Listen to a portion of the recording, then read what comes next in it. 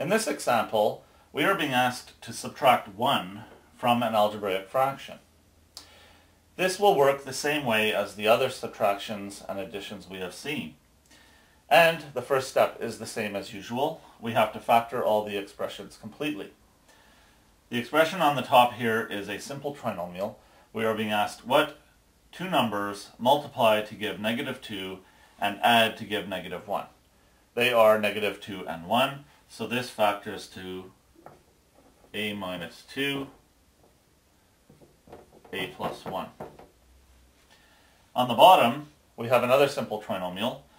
What two numbers multiply to give 1 and add to give 2, they are positive 1 and positive 1, so this factors to a plus 1, a plus 1. But this fraction can be simplified. So if we want to make the rest of our problem easier, we cancel the a plus 1 on top and bottom right away, and we convert this question into a minus 2 over a plus 1 minus 1.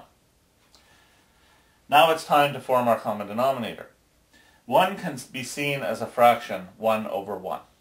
The lowest common denominator of 1 and a plus 1 is a plus 1.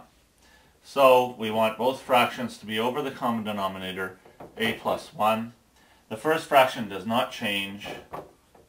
The second fraction expands to a plus 1 over a plus 1. Now we combine our numerators into a single fraction over the common denominator.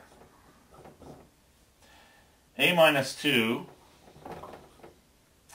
minus and then in brackets I write a plus 1, and I simplify my numerator. I have a minus 2 minus a minus 1 over a plus 1. When I simplify further, these a's cancel. a minus a is 0.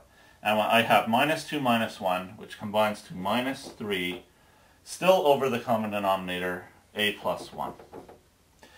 This fraction cannot be simplified further. There are no more cancelling opportunities.